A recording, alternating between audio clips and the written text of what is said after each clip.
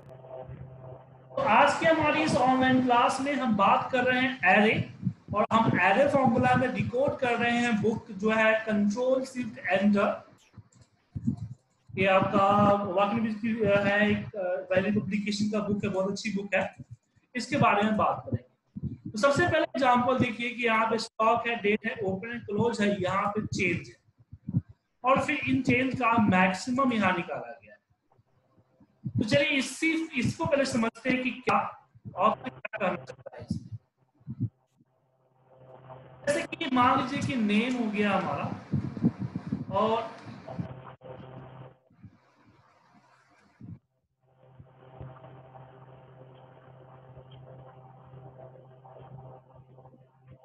और यहाँ पे ओपन हो गया। डेट भी दे सकता हूँ मैं। डेट open एंड क्लोज यहाँ पे आता है चेंज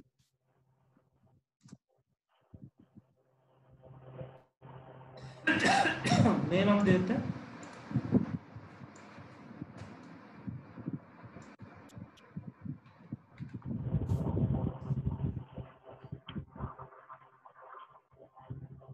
ओपन इसमें रैंड बिटनी का फॉर्मूला लगाते हैं ओपनिंग कितना पे हुआ ए स्टॉक का दिया गया है। कि स्टॉक मार्केट की स्टेट को कितना पे ओपन हुआ और कितना पे क्लोज हुआ? और उनके बीच में कितना चेंज है? तो चेंज के लिए जनरली हम यहाँ पे क्या करते हैं? क्लोज माइनस ओपन और यहाँ पे आ जाता है। यहाँ पे आता है, मुझे यहाँ पे लगा निकालना है मिनिमम और यहाँ पे निकालना है मैक्सिमम तो जनरली इसके लिए हम मिनिमम के लिए मिन का फॉर्मूला इस्तेमाल करते हैं तो बताता है कि भाई minus sixty minus fifty eight जो है मिनिमम है चेंज है और मैक्सिमम के यहाँ इन्होंने बताया है ये आ गया सिक्सटी एट बट क्वेश्चन ये आता है कि ये तो नॉर्मल है तो क्या हम अगर इसमें चेंज दूसरी दूसरी इमेज में देख रहे हैं आप कि इसमें से चेंज वाला ऑप्शन हटा देते हैं मतलब कि हमारे पास जस्ट ओपन एंड क्लोज है तो क्या हम इसका मिनिमम और मैक्सिमम निकाल सकते हैं? नॉर्मल फॉर्मूले की बात करें तो आपको यहाँ पे चेंज का ऑप्शन देना ही पड़ेगा बट एरे में आप इसको कर सकते हैं कि मिनिमम और आप बोल सकते हैं कि क्लोज माइनस सिंपल और एंटर प्रेस कीजिए, या कंट्रोल सिर्फ़ एंटर प्रेस कीजिए।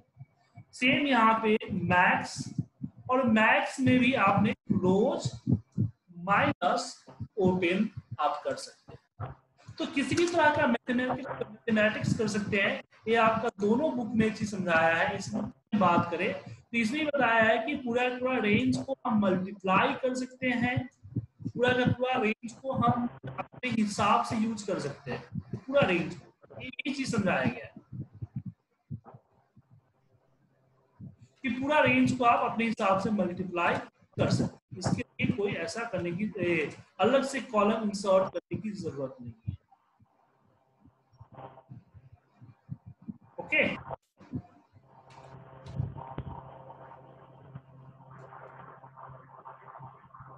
बता चुका था। एग्ज़ाम्पल बता दिया इसे देखिए। अब डायरेक्ट यहाँ पे डाल सकते हैं।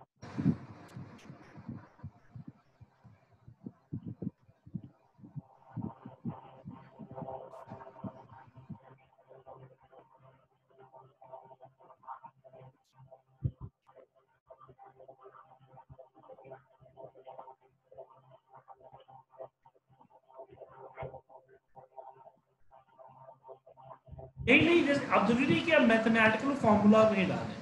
अब इससे एक अगला एग्जांपल एक आता है कि यहाँ पे counting the character in the range मुझे इसमें काउंट करना है। सबसे सब का लेंथ कितना होगा? क्योंकि मुझे मान लीजिए इनको एक सेल पे कैलकुलेट करना है। एक सेल पे हमें कैलकुलेट करना है। इसको ये लगा के जो होता है ना टेक्स्ट कॉन्केट का फॉर्मूला जो होता है। हम जिसमें कॉन्केट का फॉर्मूला लगाना तो इसमें रिज़ल्ट आए लेकिन जो तो छोटा लिस्ट है बहुत बड़ी लिस्ट होगा तो उसमें दिक्कत होगी। क्यों? क्योंकि तो बहुत बड़ी लिस्ट में आ, सेल की लिमिटेशन है कि सेल का रिज़ल्ट जो है आपका कम से कम ये होना चाहिए बत्तीस बत्तीस हज़ार सात सौ सैंतीस होना चाहिए। Hello Yusuf ji good evening sir क्या हुआ? आपकी आवाज़? गुड इवनिंग सर सर आप कैसे हैं? ठीक हैं? हम ठीक है। सीट पे नहीं देखा नहीं नहीं सर था।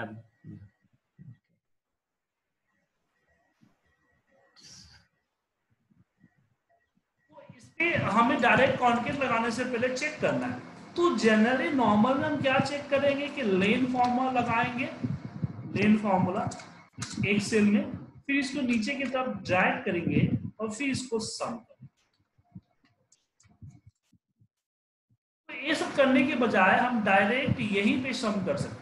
कैसे equal sum equal sum sum में हम देंगे फॉर्मूला लेन की और इसको सेलेक्ट कर अब एक चीज़ ध्यान रखिएगा। फॉर्मूला वही फॉर्मूला लगाइएगा जिसका रिज़ल्ट नंबर में आता है। अब यहाँ पे एक बहुत ही इंपॉर्टेंट चीज़ मैं आपको बता रहा हूँ कि आपको एरे वही पे लगाना है जहाँ पे आपका रिज़ल्ट एरर हो। सॉरी रिज़ल्ट नंबर हो। अगर टेक्स्ट रिज़ल्ट आ रहा है तो वहाँ पे एरे परफॉर्म नहीं करेगा। ओके इसलिए सम का फॉर्मूला हमने लगाया और सम का फॉर्मूला यही करता है।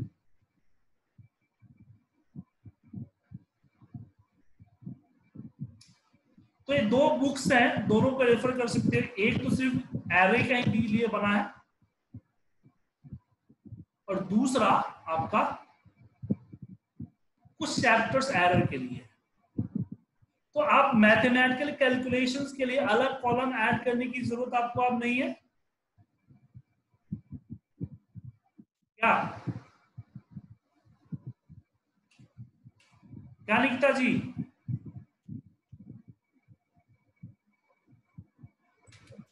यस सर ऐसे मैथ्स की मीन की सम की सारे फॉर्मूले लगा सकते हैं, जिसका रिज़ल्ट नंबर में आए।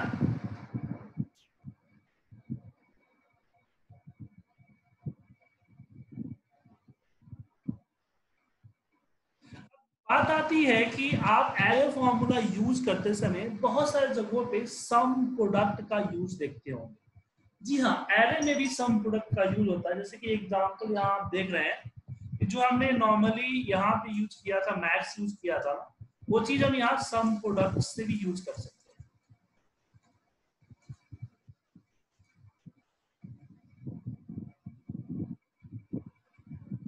तो सम जैसे मुझे मान लीजिए इन सबों का चेंज का सम करना है, इसका सम करना है। तो यहाँ पे हम इक्वल लगा सकते हैं सम प्रोडक्ट सम प्रोडक्ट में हमने बोला कि close minus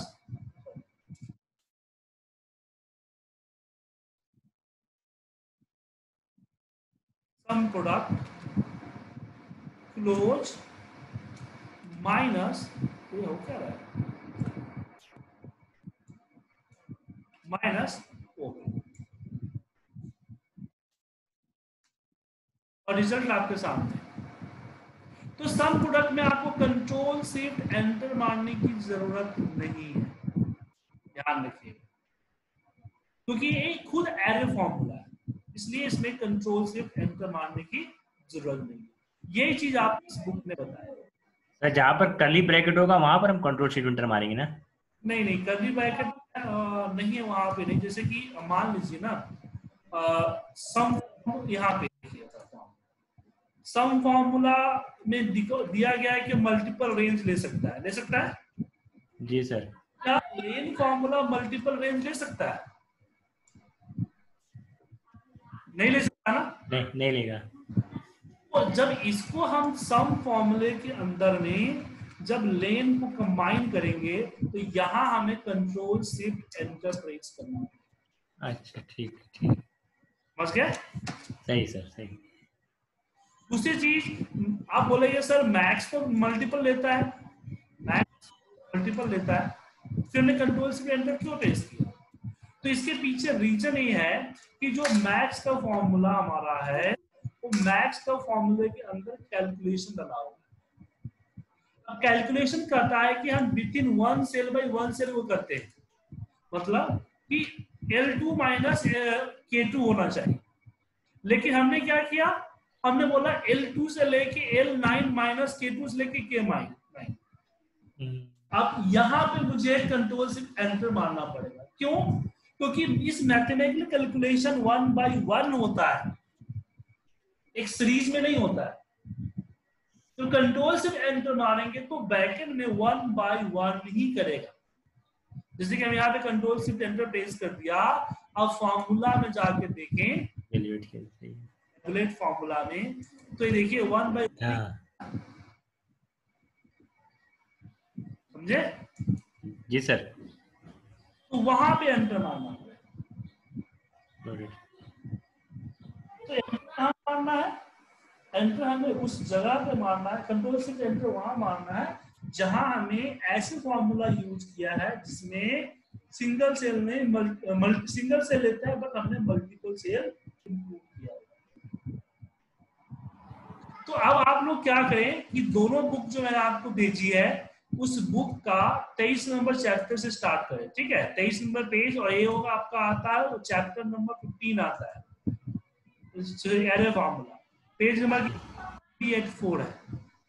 इसमें इसको पढ़िए और इसकी दी गई एग्ज़ाम्पल को आप जो है अपने एक्सेल सीट में अप्लाई ठीक है? जी सर समझ गए? जैसे कि मैंने आपको शुरुआत में बताया था कि एरे फॉर्मूला कोई लिस्ट ऑफ़ फॉर्मूला नहीं है कि मैं आपको 10 लिस्ट या 10 अलग अलग फॉर्मूले समझा दूँ। ये फॉर्मूला लगाने का तरीका है। और इस तरीके को सीखने के लिए एक एग्ज़ाम्पल काफ़ी है और ना सीख पाए तो हंड्रेड एग्ज़ाम्पल भी कम करते हैं। सो so, इसके लिए आपको प्रैक्टिस करना पड़ेगा। बगैर प्रैक्टिस का नहीं। और प्रैक्टिस आप ही को करनी